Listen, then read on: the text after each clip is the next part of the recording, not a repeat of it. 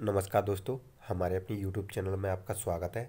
दोस्तों, चीन जो है कोरोना वायरस से बहुत ही ज़्यादा परेशान है और चीन ने फ्रेंड्स, जो है कोरोना वायरस से ही संबंधित एक जानकारी है, जो पूरी दुनिया से दोस्तों चीन ने छुपाई है। यानी कि चीन झूठ बोल रहा है, पूरी दुनिया को पागल बना रहा है।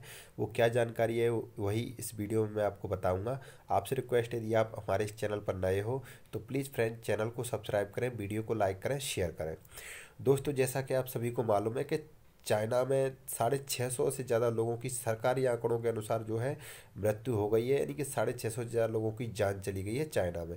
लेकिन दोस्तों, चाइना का ही एक न्यूज़ वाला है उन्होंने दोस्तों खुलासा किया है कि चाइना झूठ बोला है और चाइना में लगभग पच्चीस हज़ार से ज़्यादा लोगों की जो है कोरोना वायरस के कारण मौत हो गई है।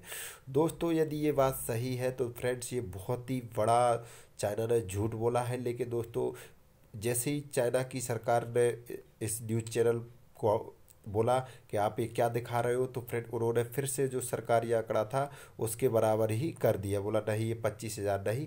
तो फ्रेंड, एक न्यूज़ वाले ने बताया कि पच्चीस हज़ार से ज़्यादा जो है चाइना में कोरोना वायरस के कारण बहुत हो गई है।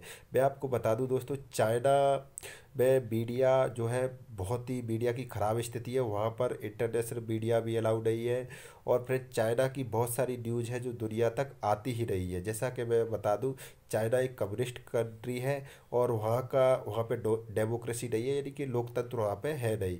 तो वहाँ पे दोस्तों मीडिया भी जो है स्वतंत्र नहीं है। वहाँ पे मीडिया बहुत दबाया जाता है। तो फ्रेंड्स, ये कुछ